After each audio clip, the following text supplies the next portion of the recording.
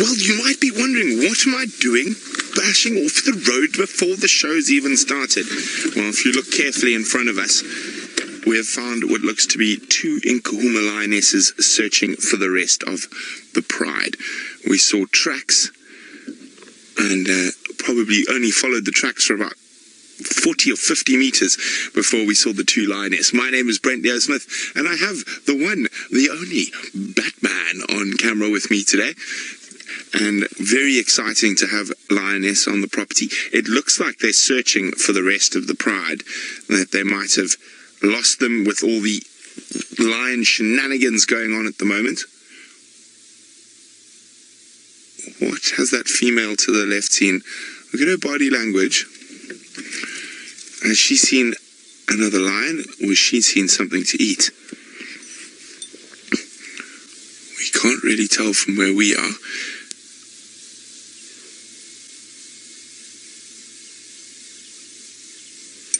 What could it be?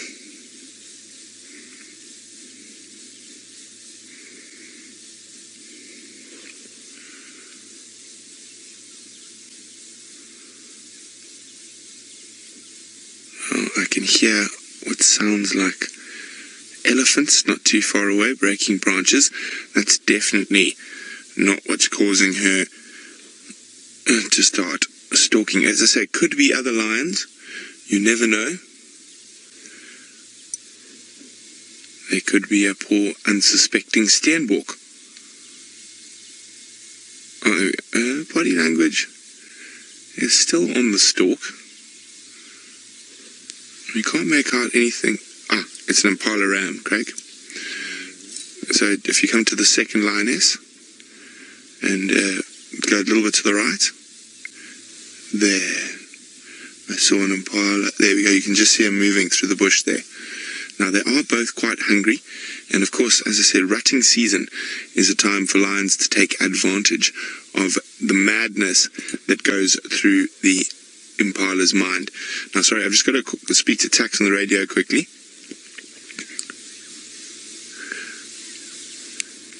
Tax, I come down Philemont, and then we're just upstream uh, a little bit from Philemon's dip.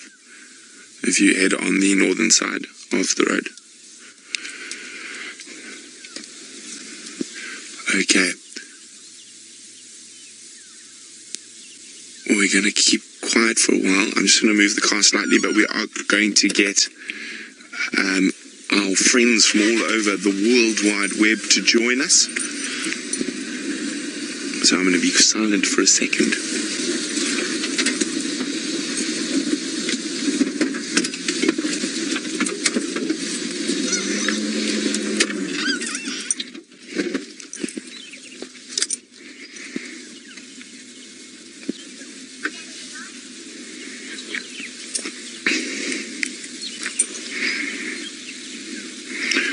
Okay, we welcome to the middle of the African bush where we've got two lionesses busy stalking an impala. We can't see the impala now, it's behind the thickets. Um, excuse me for a second, I'm just being on the game drive radio. Tax the stalking an impala. So I'm just talking to one of the other game drive vehicles who's also coming to enjoy these lions on the move. And lions are often very patient in the hunt. As you can see, she's sitting down, but they haven't started snorting the impala. There we go, there's the second lioness. Oh dear. I think that impala has spotted them and dashed off by their body language. Oh, let's get a closer look. Tax, they are directly to your south, east, southwest, sorry. Sorry, just checking on the game. My name's Brent, by the way. I've got my good friend Craig on camera. And uh, let's get you a closer look of at these lions. Now, as I said, a lot of lion hunts don't end successfully. They're only successful about 12% of the time. And the prey species out here have a huge array of defenses from good hearing, good eyesight, good, good smell, to incredible speed, jumping ability to avoid these big cats. Of course, if they had a very high success rate, there'd be no impala left for any of them to eat.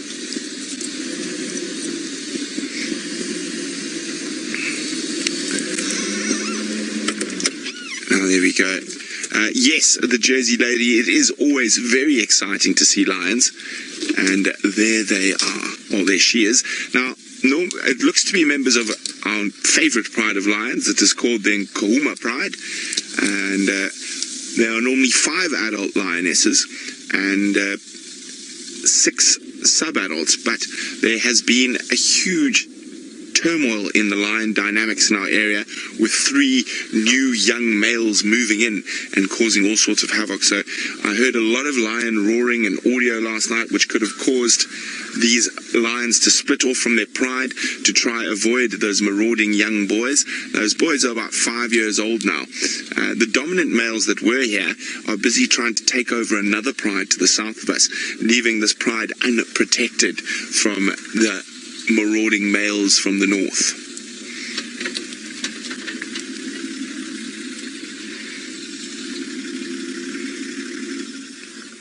Now, up until they spotted that impala, it looks like they've been searching uh, for the rest of the pride. They've had their noses to the ground. They've been sniffing, sniffing, sniffing as they go. Carol, the males that these lions want to be around at the moment are not, but the males they don't want to be around are. So they're busy trying to avoid the new males, and uh, I think they might have had a run in with the new males last night. That's why the pride has been split. There was a lot of lion audio throughout the night. And we're going to flop down into the grass. That's very common lion behavior. Move for 20 minutes, sleep for an hour, move for five minutes, sleep for two hours. Oh, there those big teeth and a little a little yawn. Now we're going to stick with these lines for the rest of the morning. Uh, remember, if you want to continue following, just type in Safari Live on your search engine and you will find us. We're going to be live for another oh, nearly three hours following all sorts of different wonderful wildlife here in Africa. But from myself, Brent, and my cameraman, Craig, we'll see you later.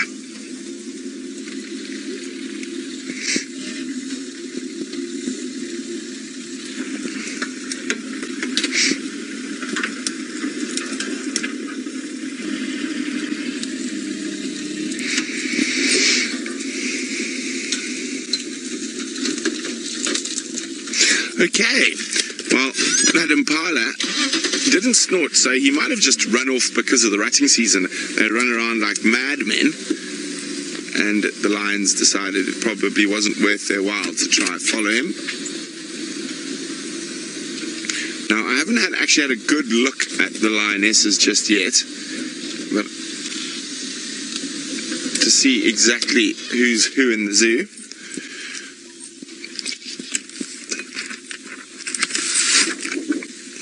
but I I think one is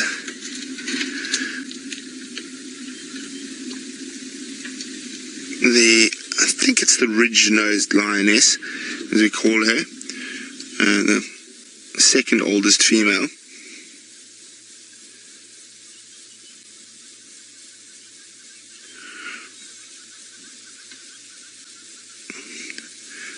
Sure who the other is. I haven't had a good look yet.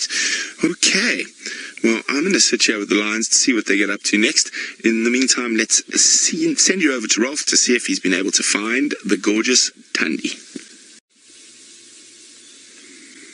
Yes, well, if it's not his lucky jacket, it's certainly his puffy jacket.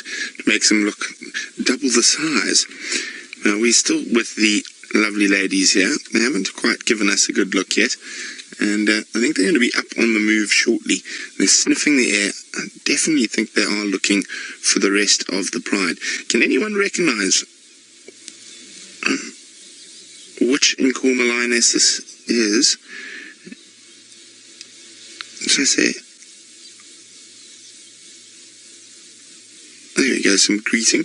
I think we could have the, the oldest female and that's the light coloured one on the left, and then the ridge-nosed female on the right.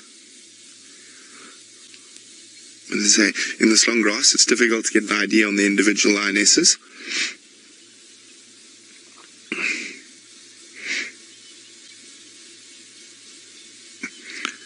Now, one thing that could be a little bit worrying is if they continue on this line, They might head straight to where Thandi and Tlalamba have that. Kill in the tree. Let's hope the leopards are wide awake this morning.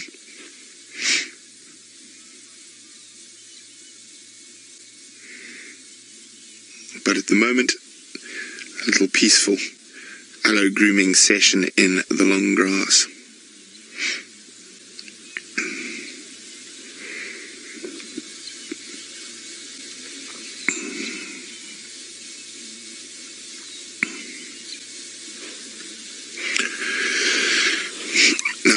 Viewer, lions don't have that much planning that they would send out scouts ahead to recon the hunt. They are very much by sight predators or by sound predators. They have to see something or hear something to pique their interest, and then all members of adult members of the pride will hunt. Uh, they, they definitely don't send out a reconnaissance team to survey what's ahead.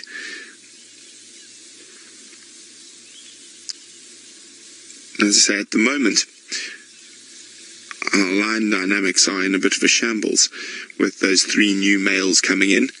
And uh, the Nkuhuma and Styx Pride are basically doing their best to avoid those three Avoca boys at the moment. We, we're pretty sure he, the Avocas have killed one uh, Nkuhuma so far, which was that youngest the youngest cub, who's, if I remember correctly, about six months old, has been killed by the Avoca male so far. So where the rest of the pride are now is anybody's guess, and it looked like these two females were looking for them.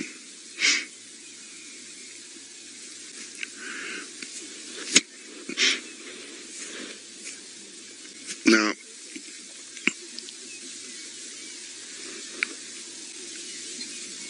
oh, flat, flat. Now, Anna, there's a very good reason why the Birmingham boys haven't come back to defend their ladies. It's because they've got new ladies and more ladies. So the area they're in at the moment, there's bigger prides, more prides, uh, lots of buffalo at the moment around the Sand River. So they're very busy trying to mate and control all the females down in the south. That there's there's the risk reward factor for coming back up here is is is not in their interest. So the Majinga lions have died, and and that leaves a huge swathe of the central Sabi sands without any male lions, and lots of females without uh, without males to to to consort with. So I think they're focusing on taking over those bigger prides that are uh, in the in the south.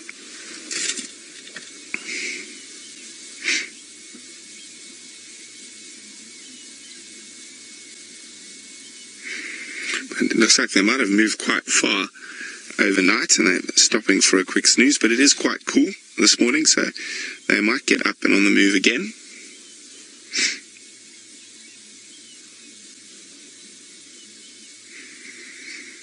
Now, if they decide for, to snooze for too long, I might go look for the rest of the pride, see if we can find them. There's a possibility that they could be on Djuma as well, scattered around somewhere.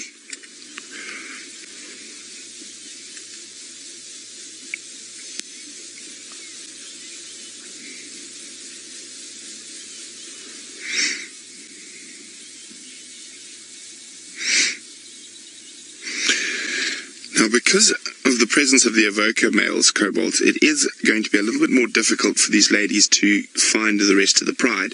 So uh, normally they would contact call and roar, and they'd be able to find the rest of the pride with with with ease. But now they're going to have to probably track them by scent and and maybe soft contact calls only. Because if they started roaring or making a noise, it would attract the attention of those male lions who would come charging in. So it is more difficult when they're trying to avoid male lions to find the rest of the pride than it would be uh, when they have stable males in an area.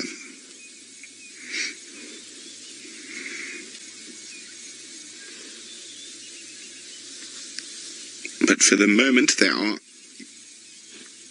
having a good sleep in the grass. If they got caught by the Avoca males and they had no choice, yes, then the adults would stand up to the Avoca males.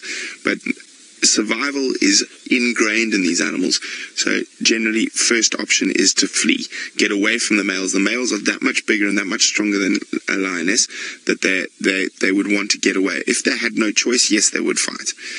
And it doesn't always end well for lionesses who stand to fight with the males because, as we saw when the Birminghams took over, uh, they do kill lionesses during those uh, during new male war coalition takeovers.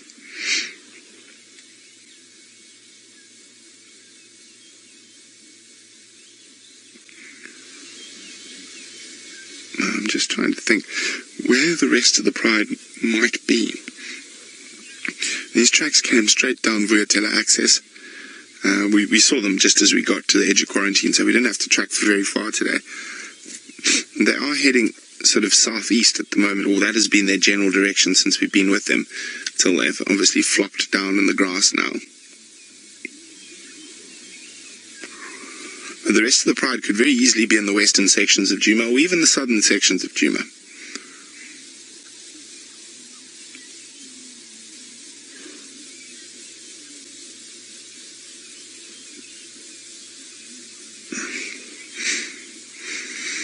Okay, well, I'm going to weigh up my options here to see if we should stay or go. Should we go look for the rest of the pride? I'm worried that if these guys move, some, we might lose them. Uh, so while I do that, let's go see how Ralph's search for the elusive Thandi is going.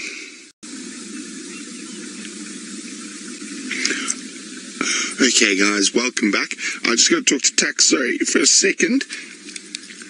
Uh, negative Nyama still in the tree, but he said he couldn't see us. Maybe check from Chitwa Chitwa side at the Mati there. So Tax wants to go look for Thandi, so I was just giving him an update. But we're still with these very lazy lions in the grass, not doing much. Now, I've heard a vehicle has headed off towards the west to see if they can find any other side of the Nkumas. I'm going to try and move around to the other side of these lazy lions.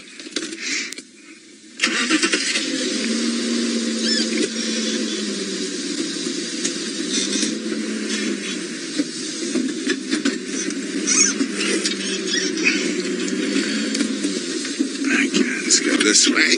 Oh, little monkey oranges make so much noise when you drive over them.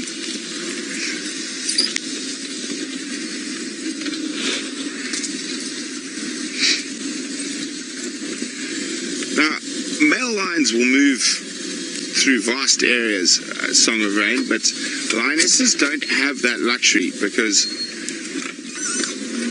they can't really move to another area because they are going to run into other lionesses. So they'd have to fight with them for their territory. So they, they have to really hang around. And, and while these, the Avocas are taking control of the north, so to speak, they will sort of do this ducking and diving and trying to avoid at all costs uh, till till everything settles down, till either all those subadults are, are dead, killed by the Avocas, um, or uh, the Birmingham boys come back, but as I say, I don't think that's very likely at the moment. Well, I don't think it's much better of a view from over here. It's slightly better. The grass is quite long.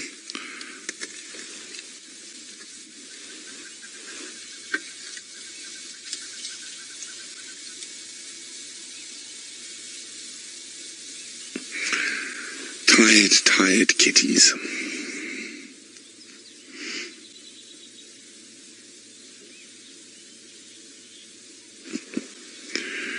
Say, they could have walked from very far. Eh? I know the Nkumas have been deep in the west.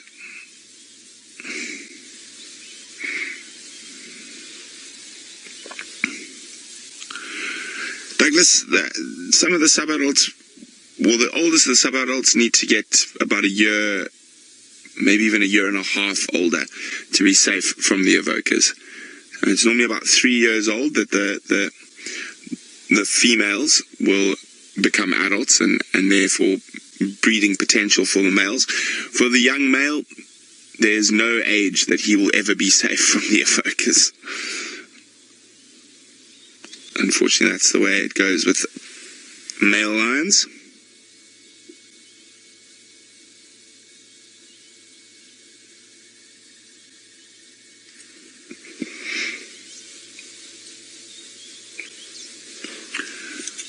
I'm just listening carefully. You never know where the other lions might pop up from. Uh, let's hope for Thandi and Tlalamba's sake that these lions don't head straight in the direction they have been because that would take them directly to where their kill is. And I don't think they'd be able to get the kill out of the tree, but they might try.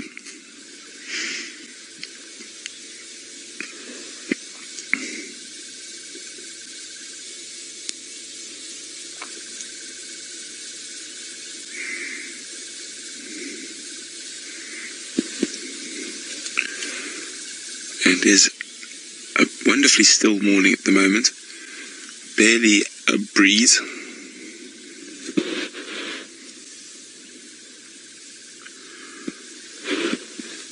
Now, lion territories vary from where you are in Africa, Gemma, uh, depending on all sorts of different things, such as uh, food, prey availability, uh, or prey density, uh, other lion density.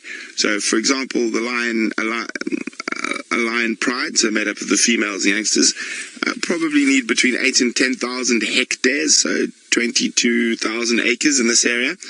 Whereas in the Mara, they're much much smaller. Uh, they're probably two to three thousand hectares for a, a, a lion pride. Uh, males here, territory of about or over 10,000 hectares, sometimes as much as 15,000 hectares, encompassing multiple prides. Uh, and the Mara, again, much smaller. Uh, due to prey density, so there's there's no exact answer. And if you take lions that live out in the desert areas, their their pride their, their territories are massive. Uh, one pride can have 30, 40,000 hectares, and a male 50,000 hectares, and that can only encompass, encompass two prides. So it, it all depends on, on, on prey density, available food dictates the number and the size of the, the pride's territory. Now, of course, they have core areas of their territory. Um, and then their greater home range that they might move into when, when times are tough when they're not finding enough food in the core area.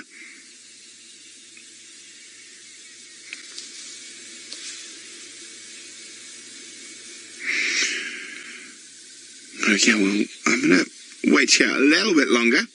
In the meantime, I'm going to send you back to Rolf to see what, where he's off to next.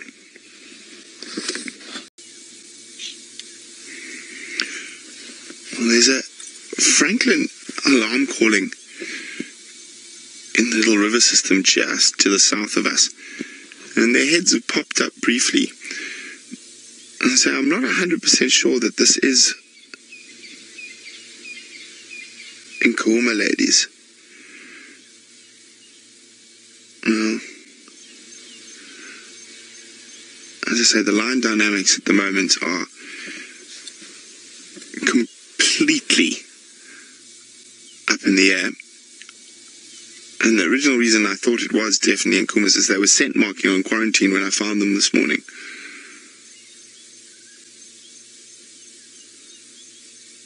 But you never know. This could be Torchwood, could be Talamati. As I say, it's definitely not Styx, that we can be certain of.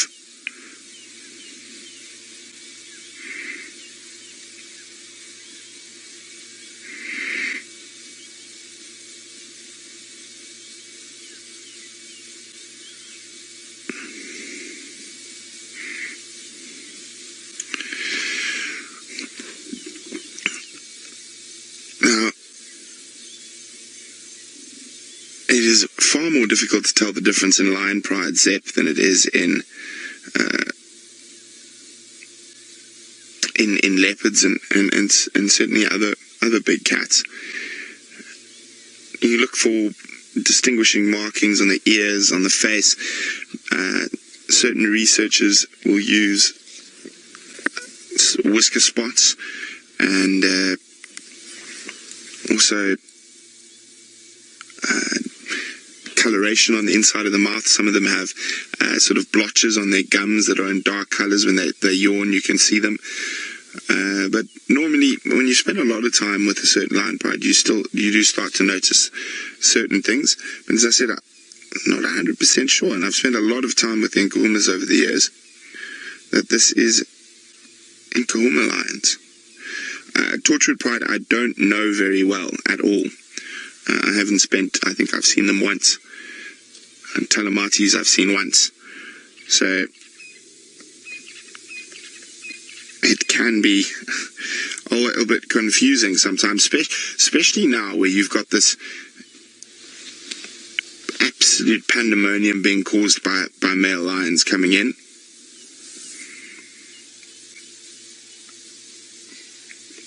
When I'm talking about whisker spots, I'm just trying to. If I can hear those elephants where James is breaking branches.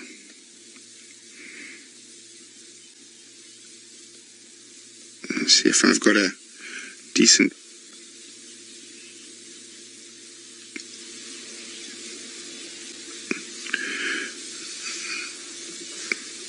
just trying to see if I've got a decent.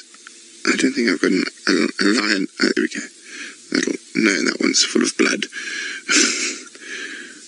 I suppose it'll work. Um, pangolin, there is not that much variation in, in lion coats. Of course, unless you get a, a, a leucistic white lion.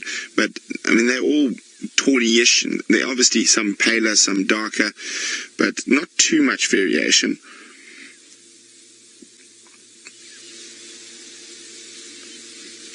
Now, when I'm talking about whisker spots, sorry, I don't have the greatest photo around. This one's full of blood. I've zoomed in a bit there. Um, this is these are the whisker spots here. So those are unique to each individual lioness, but again, it's much easier take a photograph and sit and look carefully. But when you when you're out in the field like we are all the time, sometimes that isn't possible. As you can see, heads are down, flat in the grass, even with binoculars. Uh, and even with this incredible zoom on the camera, we, we're going to struggle to see the whisker spots properly through the grass.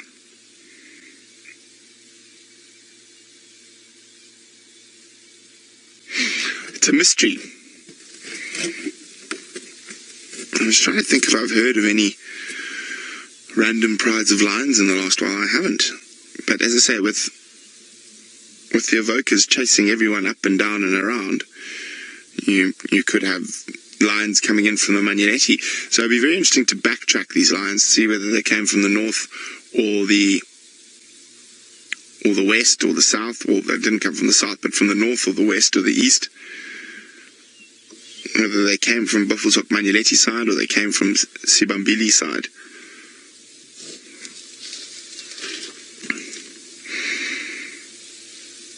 I just looked so comfortable on quarantine scent marking that I thought, surely must be the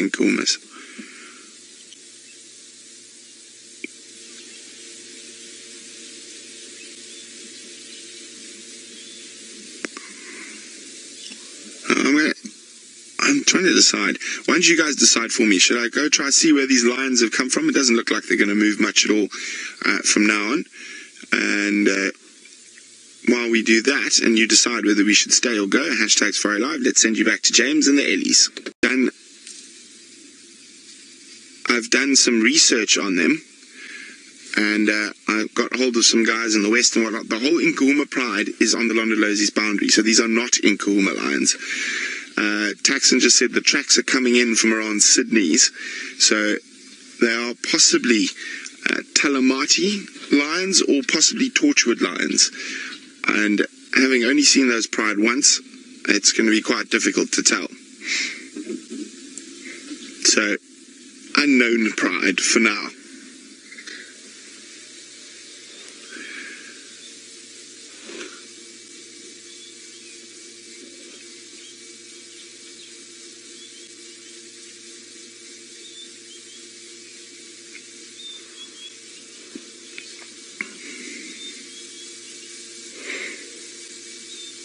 Okay, we're going to be doing a short little broadcast. I'm going to be quiet while they do their soundy thingies.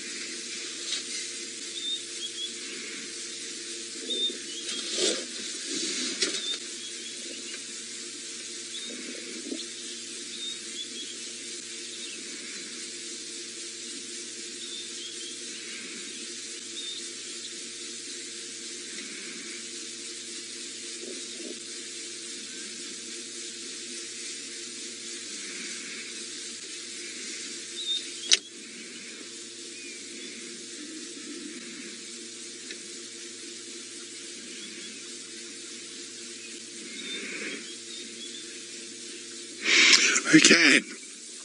Well, we're going to leave these lionesses for now and uh, see what else we can find, but we'll probably come back and check on them later in the drive.